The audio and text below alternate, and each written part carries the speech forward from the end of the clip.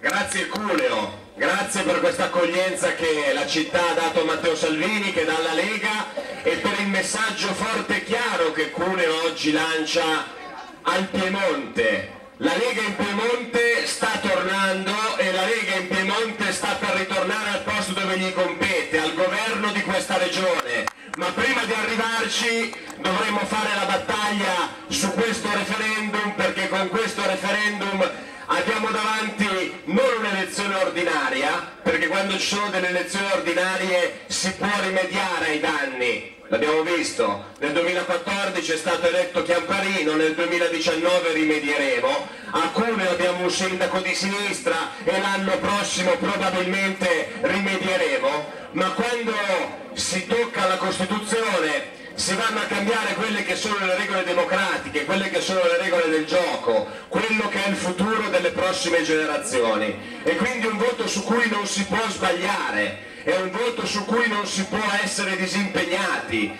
è un voto per cui tutti quanti dobbiamo darci da fare per convincere quanta più gente possibile ad andare a votare e votare no. Perché dobbiamo votare no? Dobbiamo votare no perché questa è una riforma che non fa nulla di quello che propaganda Renzi. Non è vero che ci sarà un taglio dei costi.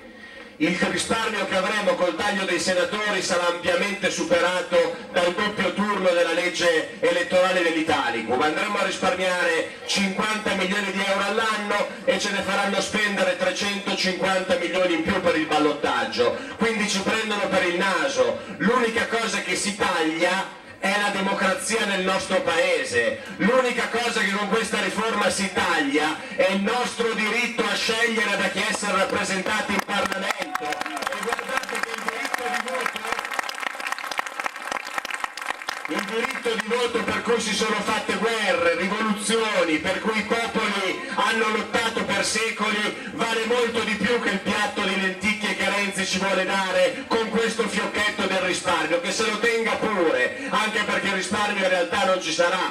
Questa è una riforma che vuole togliere sovranità, togliere sovranità alla gente, ai popoli, perché non ci permetterà di scegliere i nostri rappresentanti, togliere sovranità ai territori, perché con questa riforma le regioni diventeranno degli enti meramente amministrativi, le regioni non avranno più alcuna competenza legislativa, quello per cui la Lega si batte da 30 anni verrà completamente accantonato, non avremo più alcuna prospettiva di riforma federale di questo Paese. E badate bene che se competenze come la sanità le togliamo dalla regione e le portiamo a Roma, sapete che cosa succederà? non succederà che il modello della sanità efficiente che abbiamo ad esempio in Lombardia verrà esportato in Calabria, ma molto più probabilmente facendo decidere lo Stato centrale e Roma il modello Calabria sarà esportato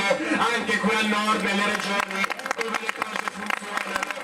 E la riprova di questo, che a mio avviso è il miglior spot per il no, lo trovate sul sito internet del Fatto Quotidiano. Dedicate 5 minuti per andarvi ad ascoltare la registrazione del presidente della regione Campania, De Luca, che arringa 300 sindaci della sua regione. Li sentirete ridere di gusto parlando dei soldi che Renzi sta per dare alla campagna per buttarli nel cesso e sperperarli, ma ricordatevi che le persone di cui ridono siete voi, perché se passa questa riforma il furto di risorse dal nord verso lo Stato centrale potrà continuare indisturbato e noi questo non lo possiamo accettare. Noi questo non lo possiamo accettare. Essere padroni a casa nostra significa poter decidere del nostro futuro, avvicinare le decisioni al territorio, ma soprattutto essere padroni dei nostri soldi, i frutti del lavoro,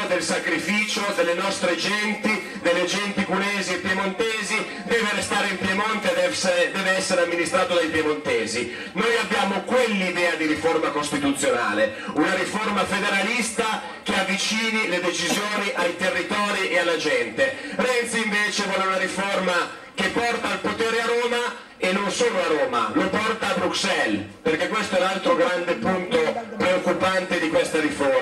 ci tolgono la sovranità anche rispetto all'Unione Europea. Tolgono la sovranità a tutto il Paese perché scriveranno in Costituzione che l'Italia dall'Unione Europea non può più uscire. Quindi un domani un governo legittimamente eletto che magari avesse in mente delle politiche agricole diverse rispetto a quelle di questa Unione Europea che stanno affamando il nostro comparto agricolo, che avesse in mente una moneta diversa, un sistema di gestione dell'economia diverso, non potrebbe andare in Europa a contrattare se non prima modificando la Costituzione. E voi capite che questa limitazione che neanche uno Stato come la Grecia, che è tenuto per le valle dai creditori internazionali, ha dovuto accettare. Nemmeno in Grecia si sono spinti a scrivere in Costituzione che la Grecia non può uscire dall'Unione Europea. Quindi questo è un altro motivo fondamentale per votare no, perché il no è un voto per la nostra sovranità, è un voto per la democrazia, è un voto per i popoli